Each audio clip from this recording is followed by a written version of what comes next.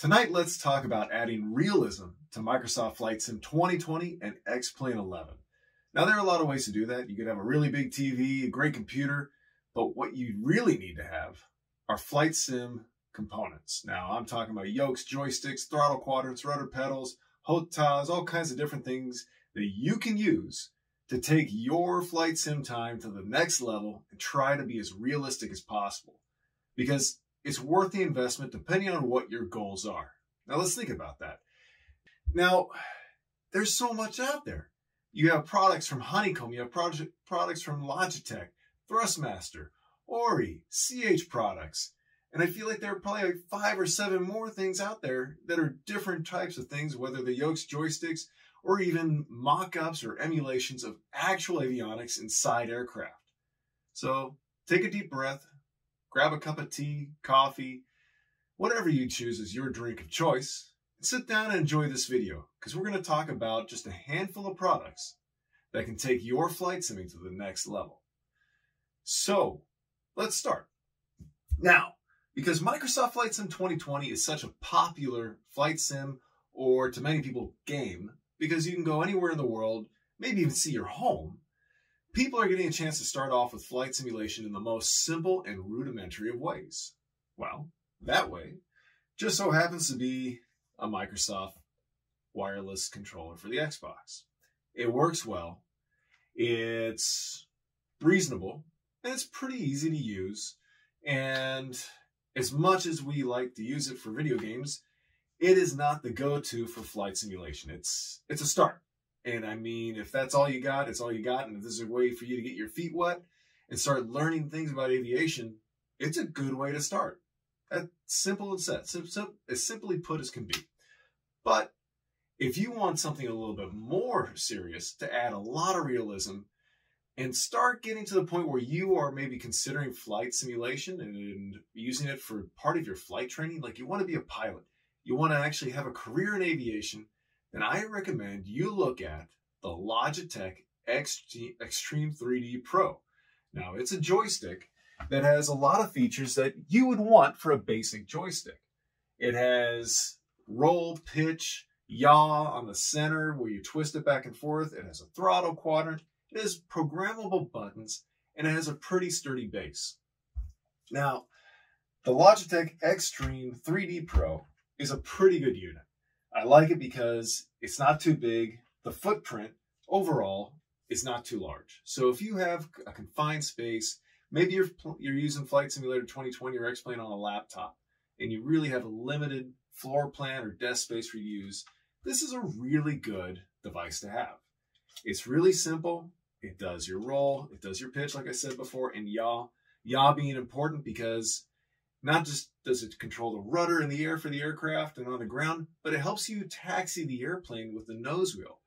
And that means left and right, kind of driving the airplane on the ground. Now, it works good, but is it the best thing? Well, I'd say for a basic setup, this is what you would go with. There are a lot of other products from Thrustmaster. There are products from Logitech and down the line. There's, there's really a lot of stuff out there that you can use to add into your flight simulator to make it more realistic. Now, the next product I'd like to talk about would be taking it from your basic setup to an intermediate setup. And when we talk about intermediate, you're going to start adding things in. And there are three really important things that you want in your intermediate setup. That'll be a yoke or a joystick, throttle quadrant, and rudder pedals. Now, with those products talked about, there's one thing in particular I think you'll like, and I like it. It's one of the products I use on a regular basis when I'm using flight simulation. And that's going to be the Cessna yoke from Saitek. It's a legacy product from years ago. And the nice thing about this product is it goes a full 90 degrees of deflection for the roll, has a good centering spring for the pitch, and it has a lot of programmable buttons.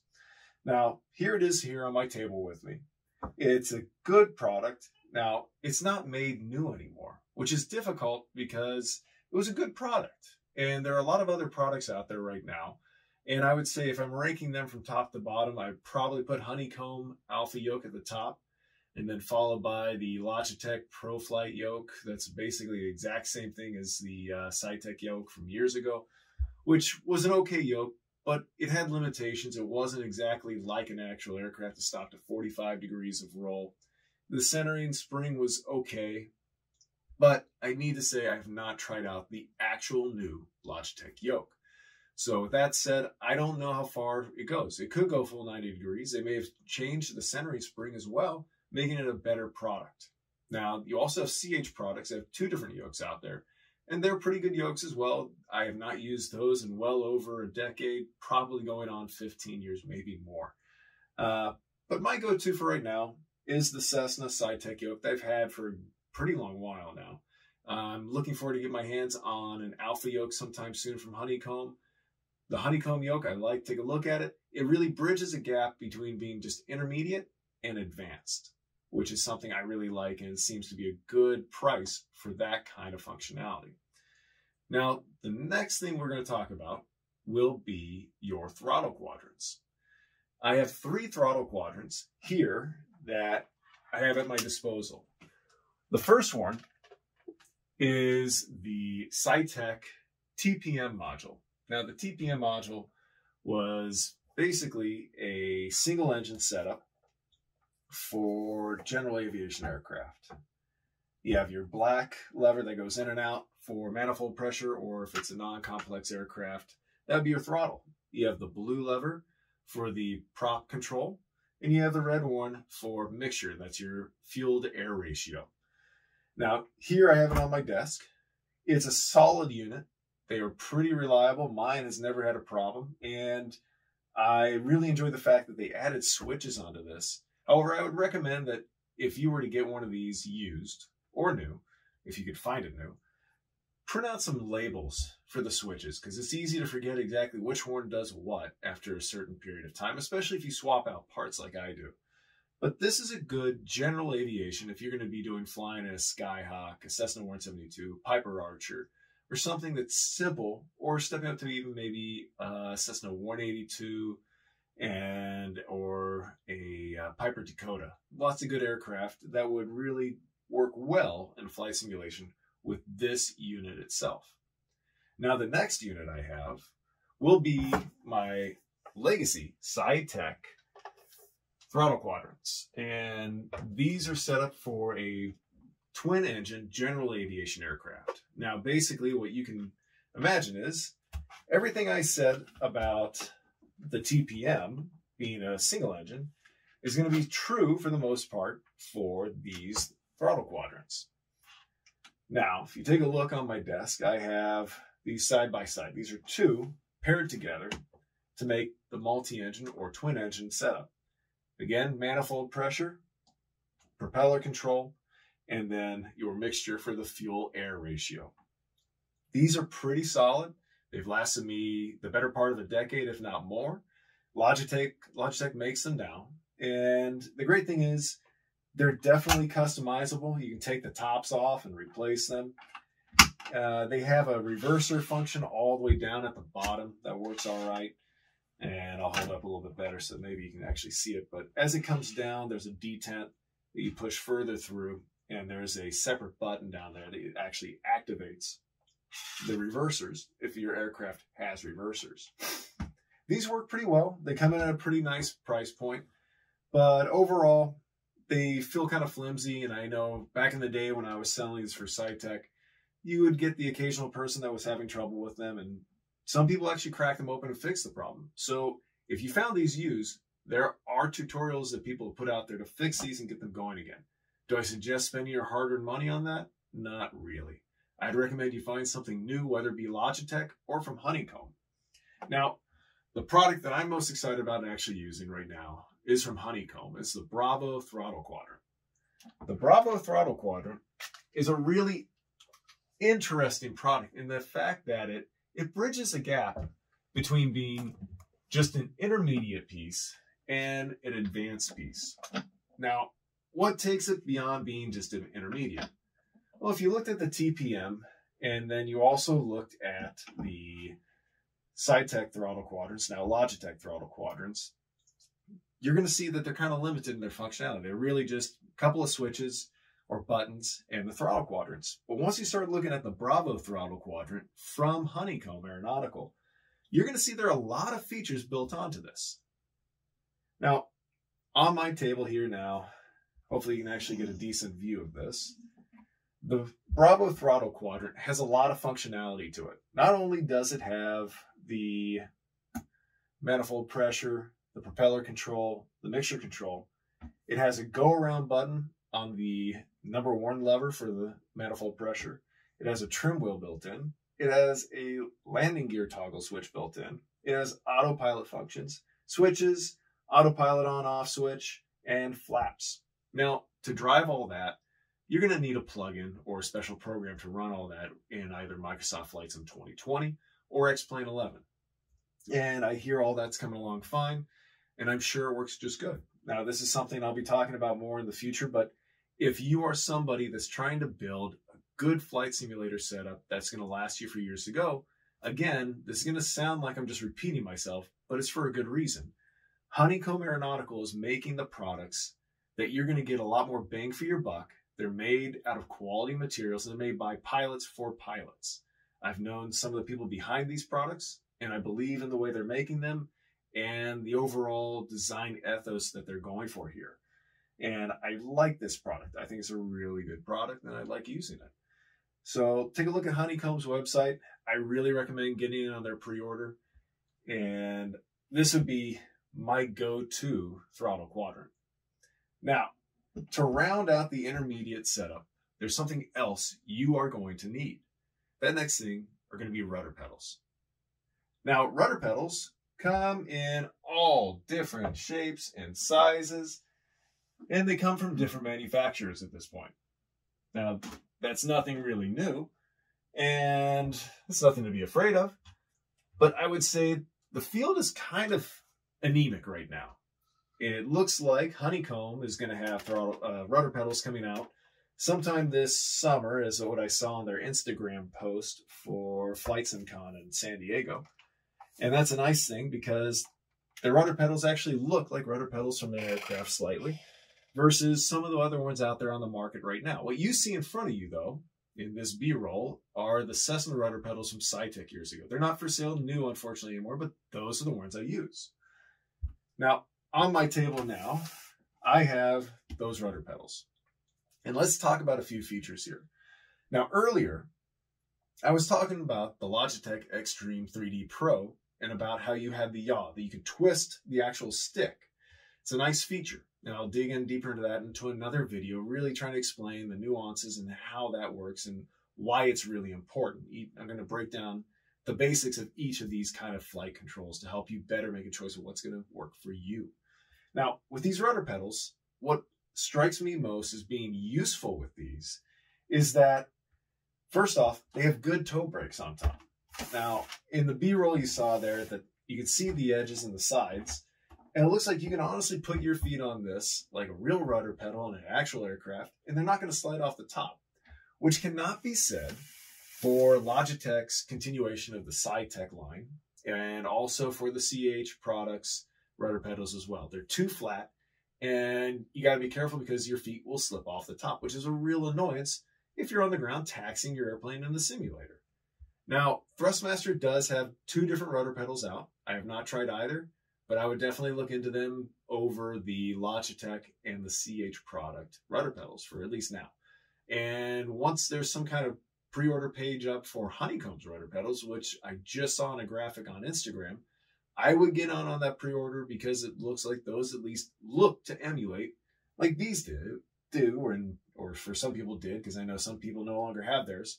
Um, a real aircraft, which is important because at the end of the day, a flight simulator, if you're a student pilot or working on all your ratings, is meant to cut down on your cost of training time, hopefully. And I say hopefully, quote unquote. A flight simulator can cut out hours for each rating, potentially if you use it for the right thing.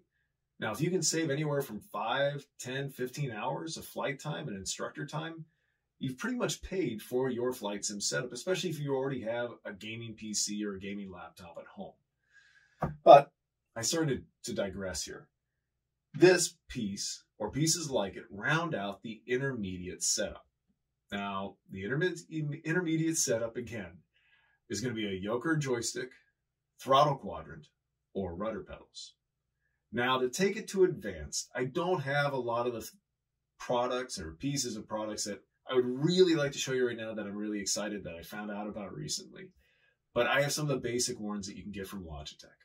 Now, you're going to see in front of you the instrument panel from Logitech, the switch panel from Logitech, and the autopilot panel from Logitech. If you rewind the video, you'll see earlier the yoke I showed you had those on it. And pull that back up now. And what you'll see is when you come back, right in front of me here, to my left, when you're looking at me, what looks to be my right, the switch panel, instrument panel, and the autopilot panel. Now, what these do are they allow you to do the basic core functions of the aircraft without having to use your mouse or keyboard to search around on your monitor to take away from your actual simulation time. So you'll be saving time by making an investment into a switch panel, an instrument panel, and the autopilot panel. Now, why would you do it? You're adding realism in to make it easier to understand how these systems work. Now, I get it. If you're just having fun with Microsoft Flight Sim 2020, this is overkill. If you plan to do semi, you know, if you're going to fly in a uh, airline that's on the multiplayer world of Microsoft Flight Sim 2020, these would be pretty cool to have. It'd make it a lot easier. Now, if you're going to be a student pilot, these are really good to have in.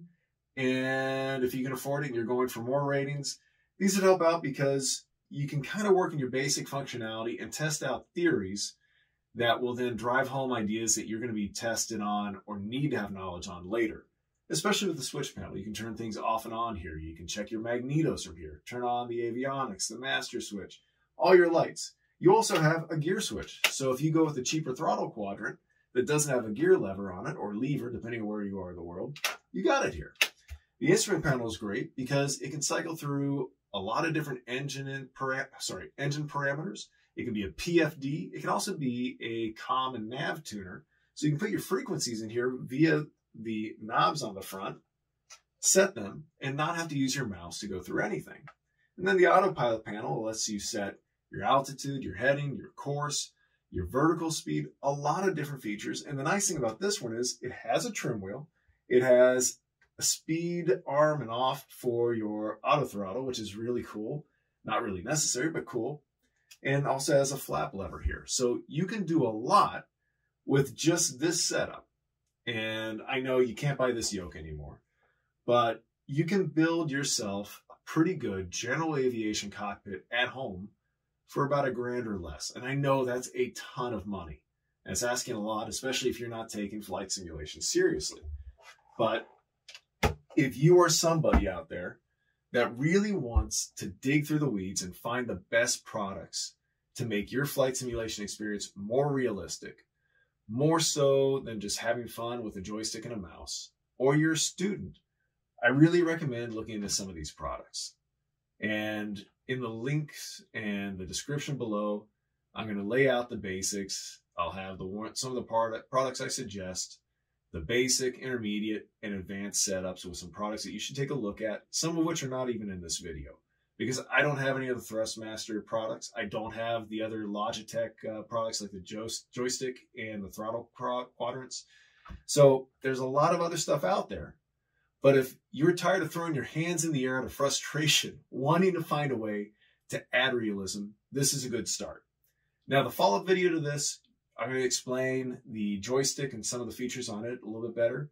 Then I'll dig into the yoke, throttle quadrants, and the rudder pedals, and also eventually the instrument panel, the switch panel, and the autopilot panel. Now there is another panel, I don't have it, but radio panel, which also makes things a lot easier, being able to tune all your radio frequencies as well. If I had one of those, I'd show it. However, I did have one of the legacy Saitek products that one did not survive the number two move out of three moves, unfortunately.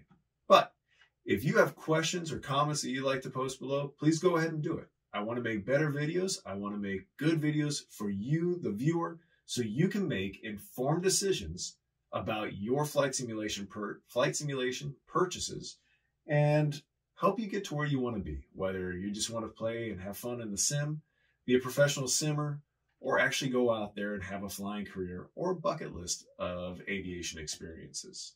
So, Joe from NDB Aviation, thank you for your time. Stay safe, stay healthy, and see you again real soon. Bye bye.